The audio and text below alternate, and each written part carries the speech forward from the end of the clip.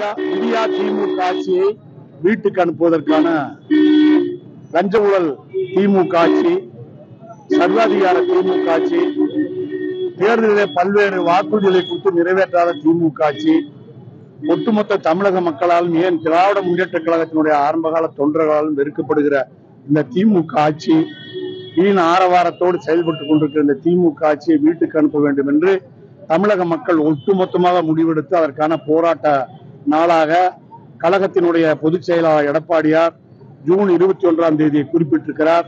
இன்றைய தினம் போராட்டத்தின் தொடக்க நாள். இந்த போராட்டம் படிப்படியாக உயர்ந்து ஸ்டாலின் இந்த ஆட்சியை விட்டு ஓடும் வரை இந்த போராட்டம் தொடரும். ஒரு குவார்டர் பாட்டிலுக்கு பத்து ரூபாய் என்றால் தமிழ்நாட்டில் டெய்லி ஒரு கோடி பாட்டில் விற்கிறது என்றால் தினம் பத்து கோடி ரூபாய்.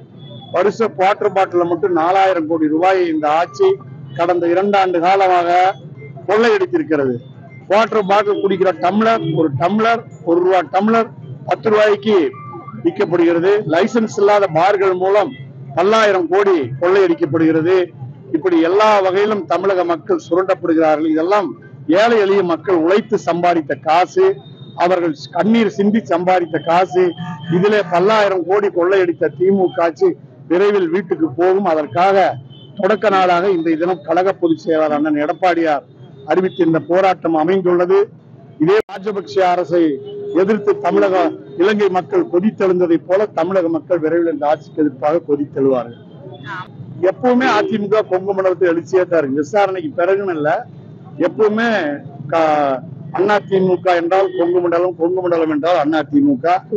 அதே போல திருப்பூர் மாநகராட்சியில வீடு கூட்டுற அந்த களத்தை சுத்தப்படுத்துற சீவக்கட்டைன்னு சொல்லுவாங்களே விளக்குமாறுன்னு சொல்லுவாங்க துடப்பக்கட்டைன்னு சொல்லுவாங்க. அது வந்து பத்து ரூபாய்க்கு விற்பாங்க. அதிகபட்சம் போனா ஐம்பது ரூபா இருக்கு. ஐம்பது ரூபாய்க்கு விற்கிற துடப்பு கட்டைய நானூத்தி நாற்பது ரூபாய்க்கு தீர்மானம் போட்டு வாங்கியிருக்கிறாங்க. அதுதான் மாநகராட்சியினுடைய நேர்மையான தன்மைக்கு ஒரு எடுத்துக்காட்டு. இப்படி எங்க பார்த்தாலும் எதிலும் ஊழல் ஊழல் ஊழல். மணல் கடத்தல் ஜல்லி கடத்தல் செம்மண் கடத்தல் கிராவல் கடத்தல் இப்படி எல்லா வகையிலும் ஊழல் செய்து தமிழக மக்களுக்கு இந்த ஆட்சி இடையூறாக இருந்தது.